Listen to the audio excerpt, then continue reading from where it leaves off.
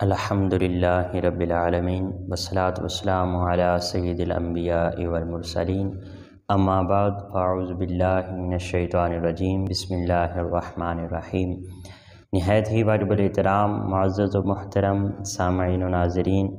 مضامین قرآن کا یہ سلسلہ جو کہ ہم نے سورہ ملک سے سٹارٹ کیا تھا، الحمدللہ سورہ ملک کے اختتام کے بعد ہم نے سابقہ ویڈیو کے اندر سورہ یوسف کے مختصر تعارف کا تذکرہ کیا اور اب ہم سورہ یوسف کو سابقہ روٹین کے مطابق ترجمے کے ساتھ سٹارٹ کرتے ہیں۔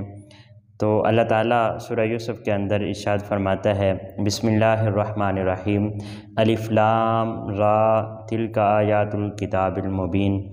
الف لام را، ان کو، ان حروف کو حروف مقطعات کا نام دیا جاتا ہے۔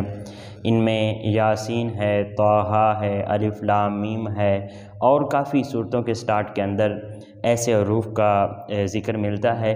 تو یہ حروف جو حروف مقطعات ہیں، ان کا حقیقی معنی اللہ تعالیٰ اور اس کے پیارے حبیب صلی اللہ علیہ وآلہ وسلم ہی جانتے ہیں۔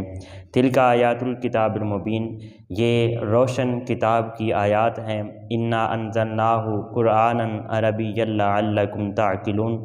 ہم نے اس قرآن کو عربی کے اندر نازل فرمایا، تاکہ تم اسے سمجھ سکو۔ نحن نقص علیہ کا احسن القصصی اے حبیب، ہم آپ کے ساتھ ایک بہترین قصہ بیان کرتے ہیں۔ بما اوحینا علیہ کا حاضر قرآن اس قرآن کے ذریعے، جس کو ہم نے آپ کی طرف وہی کیا۔ وین کن تم قبل ہی لمن الغافلین۔ اگرچہ آپ اس سے قبل اس قصے سے ناواقف تھے۔